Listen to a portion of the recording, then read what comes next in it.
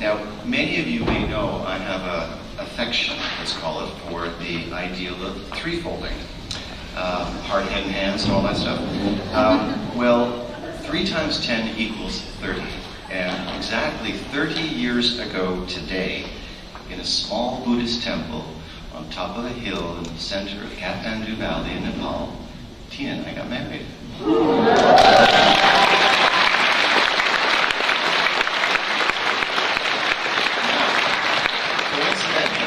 three of our children went through the Waldorf School, and we now begin our journey as alumni parents.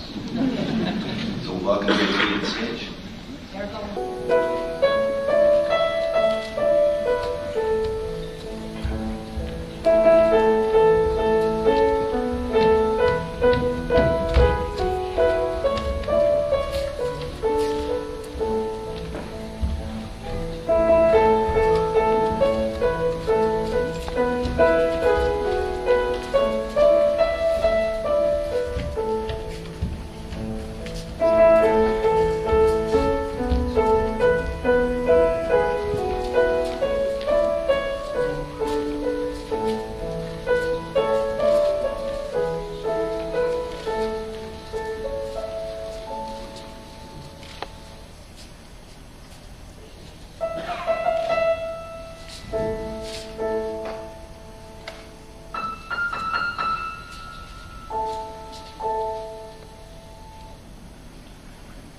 the north wind did blow, with rain and with snow.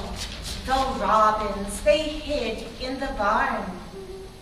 They gathered the hay, made a nest for to lay, and there they kept cozy and warm.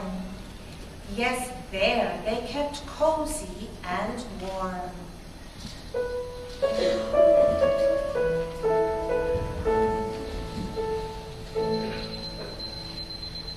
Oh, the raindrops fell hard on rooftop and yard, and thunder asunder did pound. The lightning did crack, till the birds cried, alack! Oh, when will the spring come around? Yes, when will the spring come around?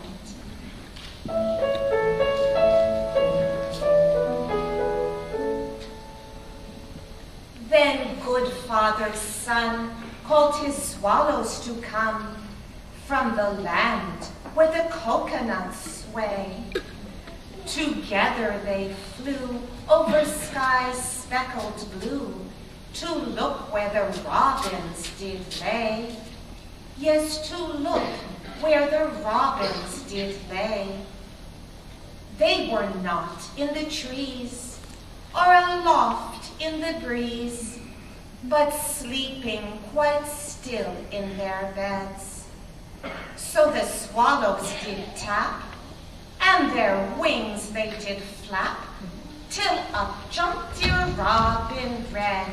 Yes, up jumped dear Robin Red. And where are they now? Why, they're both on the bough, and they're singing with all of their hearts.